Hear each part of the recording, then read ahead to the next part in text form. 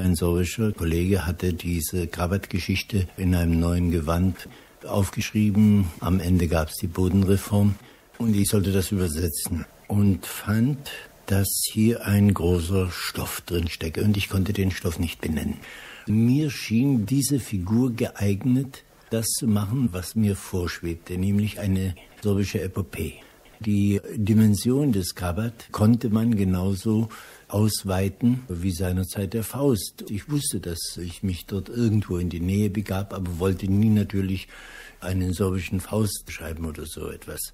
Die Kritik hat später etwas davon gesagt, aber wann immer man den Urfragen nachgeht, kommt man unweigerlich in die Nähe vom Faust. Das ist gar nicht anders möglich.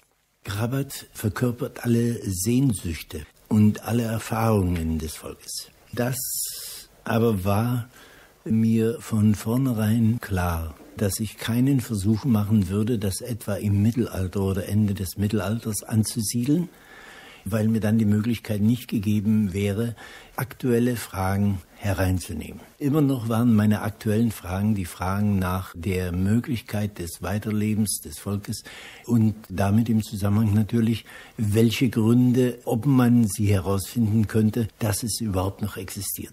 Es gibt kaum Sorabismen bei mir, die sind ganz, ganz gering. Aber es ließe sich wohl nachweisen, wie der Einfluss der sorbischen Volkssprache die Art des Erzählens im Deutschen bei mir beeinflusst. Es geht nicht um das rein lexikalische.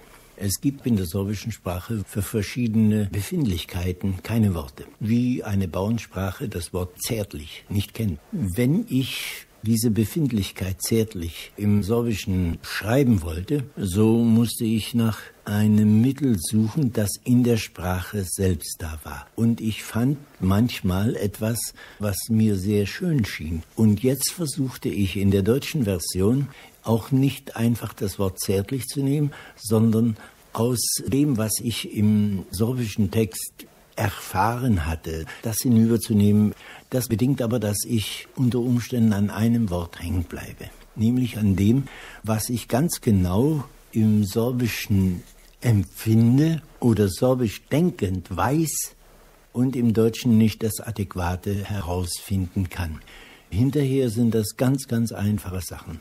In Wirklichkeit ist es schwierig und die besondere Art ist die Folge dessen, dass ich zwei Sprachen habe, die gleichwertig für mich sind und die doch auf zwei verschiedenen Ebenen angesiedelt sind.